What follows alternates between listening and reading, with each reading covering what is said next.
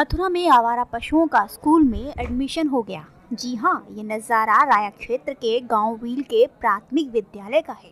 यहाँ स्कूल परिसर में बच्चों की जगह आवारा जानवर जमे हुए हैं। स्कूल के गेट पर बड़ा सा ताला लटका हुआ है और बेचारे बच्चे स्कूल के बाहर खड़े हैं। दिन में पढ़ने नहीं जाते हैं इनके पीछे। रात में सो नहीं पा रहे हैं। ठंड भारी पड़ रही है।